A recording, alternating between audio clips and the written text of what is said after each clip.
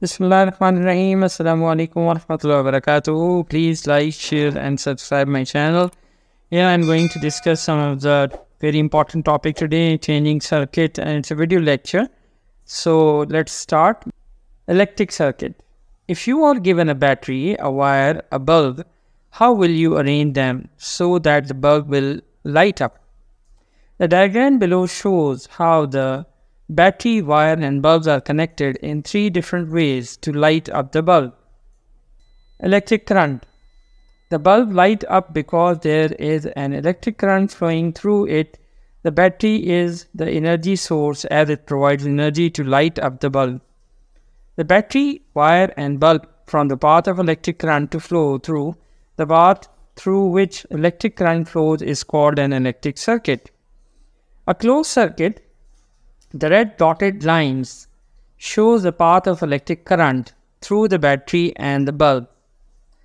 Open circuit, closed circuit. Electric circuit can only flow through the closed circuit, which is continuous or unbroken path formed by an energy source and other circuit component. A circuit with a gap is called an open circuit. An open circuit is a discontinuous or broken path.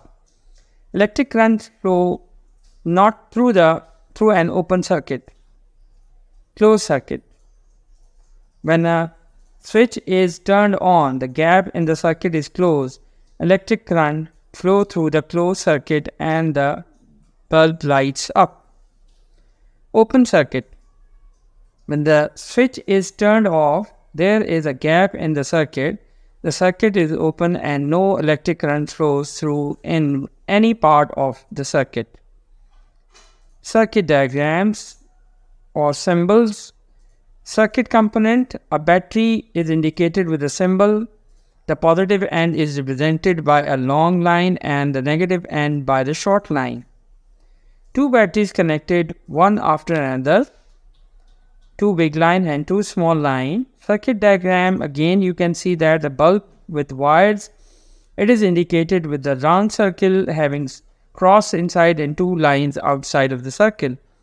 Switch, open switch is indicated by this way that the two circles are having an opposite side but they are not connected to each other.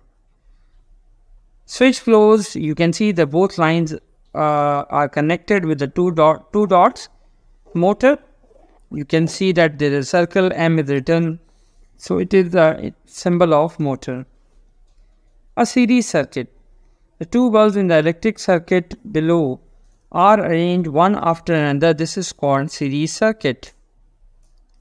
A very clear picture you can understand. There are three different diagrams. A series circuit given a series circuit and a circuit diagram is given to you. Now we are talking about the parallel circuit. There are three different diagrams. One which is made with the wires. Second, the parallel circuit again is made with the simple way. And the third way you can see this circuit diagram. Jazakallah for today. Assalamu alaikum wa rahmatullahi wa barakatuh.